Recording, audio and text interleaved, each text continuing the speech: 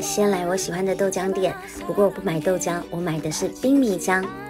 大米配花生真的太香醇了，传统的甜瓷饭团肯定是要来一个的。这是我最喜欢吃的三角饭团，这个肉松啊已经快要卖光了。这家改良过的包子馒头真的太好吃了，只是这么多碳水真的好肥呀。先拿就可以了是吗？麻酱哈，麻酱的，咬两口，脸都晒红啦。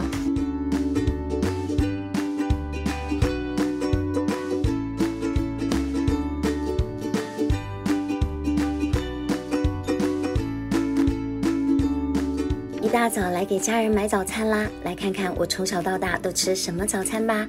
早起的鸟儿有虫吃，耶，一定会有好事发生。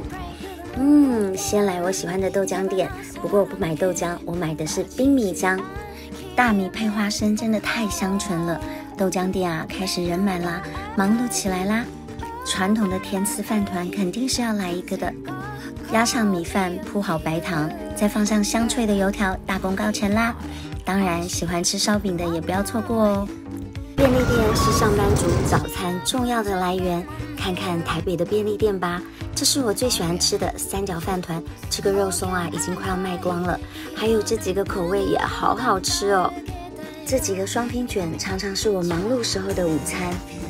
想要吃热乎乎的早餐，可以吃当归汤、四神汤，还能补身体哦。搭配鲜草蜜还是梅子番茄好呢？决定啦，就是它啦！这街上也太空了吧！早上七点钟，感觉我一个人把忠孝东路都包场了。这家改良过的包子馒头真的太好吃了，只是这么多碳水真的好肥呀！老板，要一个，要一个什么？坚果杂粮，热的吗？对，热乎乎的拿在手上，可真是香气四溢啊！你们馋不馋？馋不馋？再就是哥哥最爱的凉面，直接拿就可以了是吗？麻酱哈，麻酱的，多少钱？我对麻酱毫无抵抗力啊，真的好想吃，回家喽！路过我最爱的蔬菜卷啦，咬了一口润饼卷，花生粉、木薯芽、葡萄，还有胡萝卜，实在太热了，有个小凳子坐一会儿吧。咬两口，脸都晒红啦。回到可爱温馨的家啦，来看看给家人买早餐的成果吧。豆皮寿司可是米粒的最爱哦。